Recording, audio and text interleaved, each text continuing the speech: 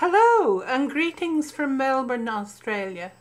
My name is Yvonne Balding and I am the bee of the Epstein-Barr virus, Barr being my maiden name.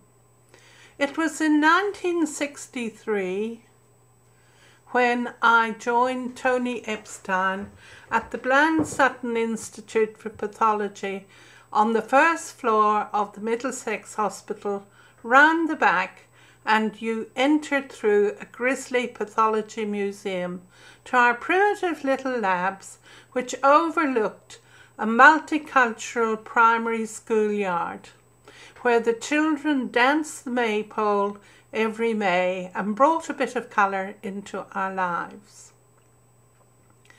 The Burkitt lymphoma cells arrived in little green thermos flasks, usually on a Friday night or about 11 pm. They had to be cultured immediately and we put them into different media and various shaped glass containers. There was no pressure. Every day we cultured and observed our cells. And one day some of them were glistening which was thought to be a sign of life. There was great excitement and the thing was to get enough ready for electron microscopy by Bert and or Tony. The rest is history.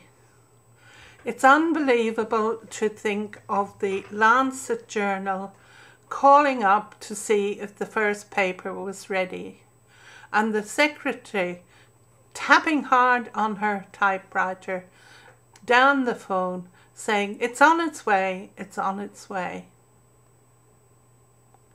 It also amazes me to this day how it has become such a big thing.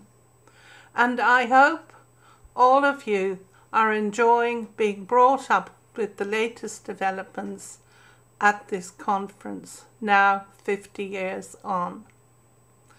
Unfortunately, I am not able to be there, but I would like to wish the conference great success and thank Alan Rickinson for the idea of doing this little video.